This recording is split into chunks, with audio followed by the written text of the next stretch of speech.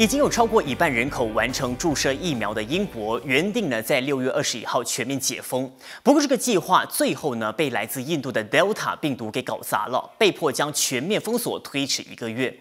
英国在 Delta 病毒肆虐之下，疫情再度大反扑，甚至传出有民众接种了两剂疫苗之后还是染病身亡，这不免让人担心，到底打了疫苗之后是有效还是没效呢？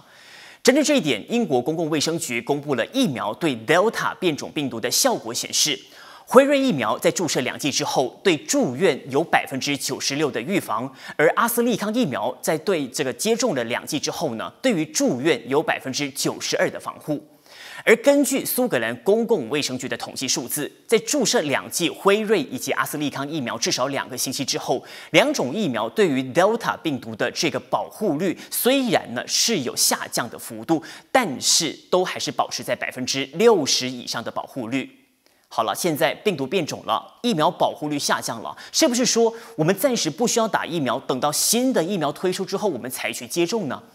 八点最热报采访了马大医学院教授梅凤鸣，以及儿童传染疾病专科医生包淑正医生，还有病毒学博士徐慧仪，他们一致呼吁大家千万不要有这样的想法，因为要因为呢，其实只要接种了疫苗，某一种程度上，专家说还是有防护力的，所以有疫苗的话就要去接种。虽然不能够百分之百防止感染，但是可以预防重症啊，并且呢，可以让全国尽快达到群体免疫，阻止新冠病毒继续传播。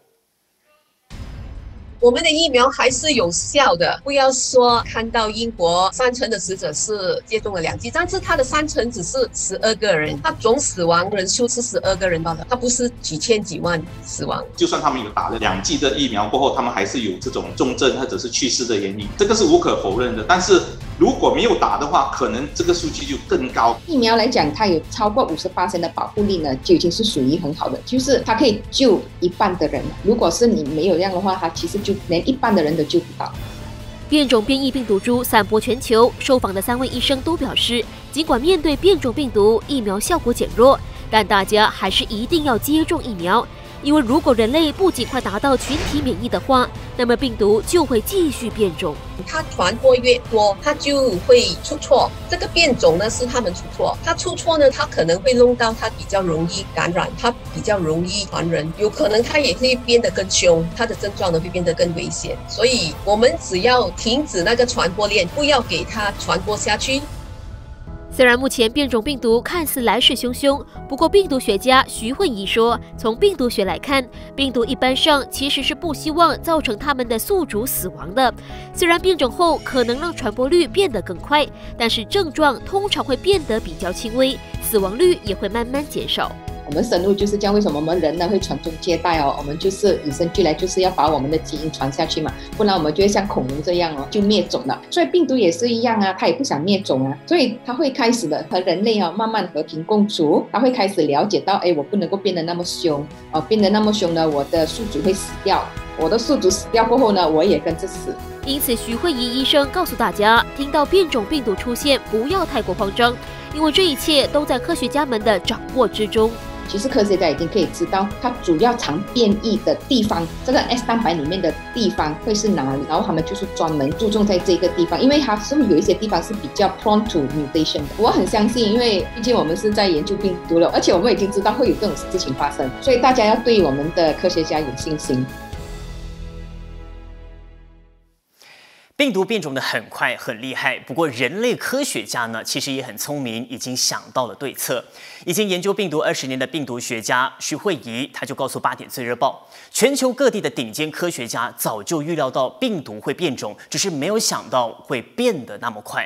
他说：“请大家不要小看科学家，因为他们研究病毒这么多年，都已经知道病毒的习性了。只要发现他们变种，科学家呢也会很快的研发新的疫苗，只不过过程中是需要时间去测试，才能够推出市面上去应用。”徐慧仪说：“这也是为什么每个国家要 lock down 要封锁，就是为了要帮科学家去拖时间、买时间 buy time，同时呢，也阻断病毒传染链。而我们人民能够做什么呢？我们能够做好本分，遵守好防疫 SOP，尽量呢能够不出门就不出门，这些都是身为人类的一个责任。”那所以徐慧仪呢也告诉大家，其实对病毒来说，当他们最后跟人类和平共处之后，我们就会变成我们普通俗称的那种流感，就好像我们每个人严格来说，每一年呢都要打流感的疫苗，这个道理呢是相同的，只不过到那个时候，病毒呢就不会再这么凶猛，死亡率也会大大降低。